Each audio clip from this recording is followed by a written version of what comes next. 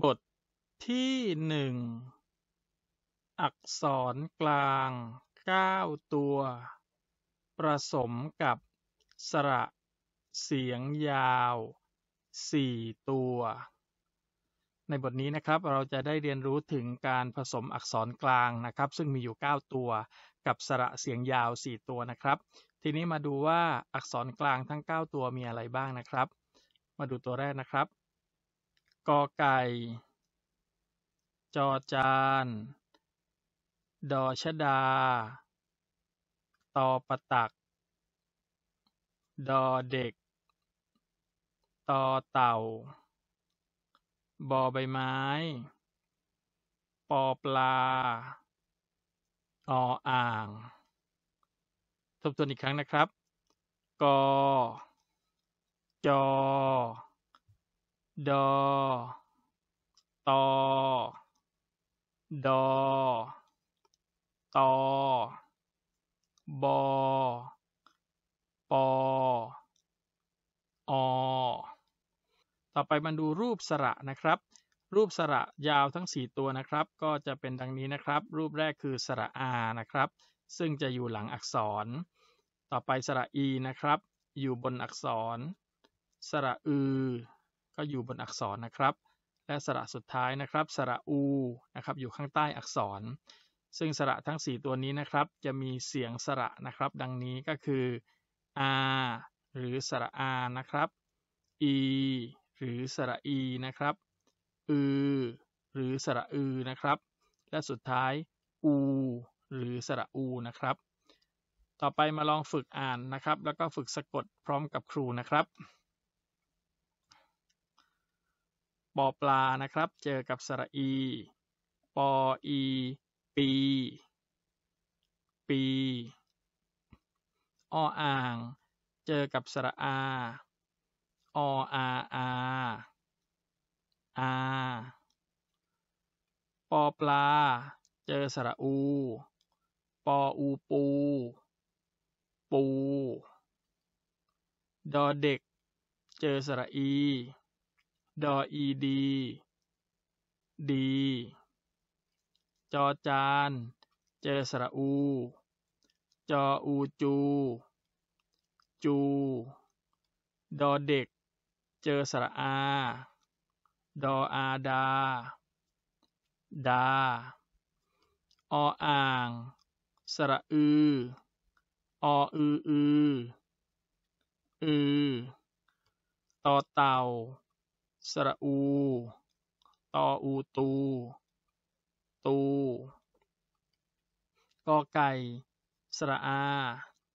กออากา กา ตอเต่า สระอี ตออีตี ตี จอจาน สระอา จออาจา จา ดอเด็ก สระอู ดออูดู ดู ตอเต่า สระอา ตออาตา ตา ปอปลา สระอา ปออาปา ปา ออ่าง สระอู ออูอู อู บอใบไม้ สระอา บออาบา บา ต่อไปลองอ่านแบบไม่สะกดนะครับ ปี อา ปู ดี จู ดา อือ ตู กา ตี จา ดู ตา ปา อู บา ต่อไปมาฝึกอ่านคำข้างล่างกันนะครับ เดี๋ยวครูจะอ่านรอบแรกนะครับ อ่านแบบไม่สะกดนะครับ ดี ดี ดี กา ตี ปู ตี กา ตา ปี ตา ดี ตา ดู กา ดู ดี ดี กา ตี ปู อา ดูกา ดีกา ตา ดู ปู ดูดีกา อีกา ตาดี อา ดู ปู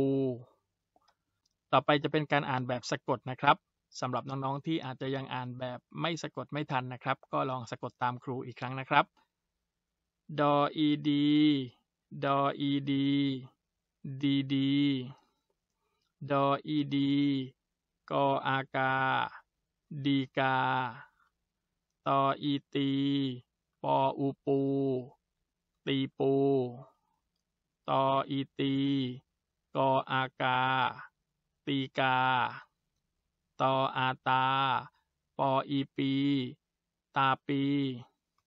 ตออาตา ดออีดี ตาดี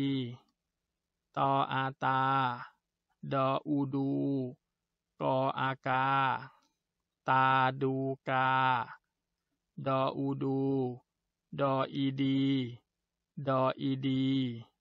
ดูดีดี กออากา ตออีตี ปออูปู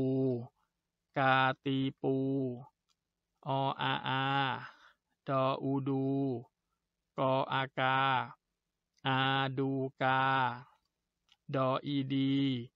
กออากา ดีกา ตออาตา ดออูดู ปออูปู ตาดูปู ดออูดู ดออีดี กออากา ดูดีกา ออีอี กออากา ตออาตา ดออีดี อีกาตาดี ออาอา ดออูดู ปออูปู อาดูปู ก็ให้น้องๆฝึกอ่านในบทที่หนึ่งให้คล่องนะครับ อ่านแบบสะกดคำนะครับ แล้วก็เมื่อเราอ่านสะกดคำได้แล้ว ก็ลองฝึกอ่านแบบไม่สะกดคำหรือฝึกสะกดคำในใจ แล้วก็เปล่งเสียงคำคำนั้นออกมาเสียงดังนะครับ ลองฝึกฝนแบบนี้ดูก็ได้นะครับ แล้วก็ถ้าชอบคลิปของครูนะครับคลิกไลค์คลิกติดตามคลิกแชร์ให้ครูด้วยนะครับ แล้วก็คลิกกระดิ่งไว้ด้วยนะครับ จะได้ไม่พลาดคลิปดีๆ ในครั้งต่อๆไปนะครับสำหรับคลิปนี้ขอจบเพียงแค่นี้นะครับ คลิปต่อไปจะมาพบกับบทที่ 2 นะครับ สวัสดีครับ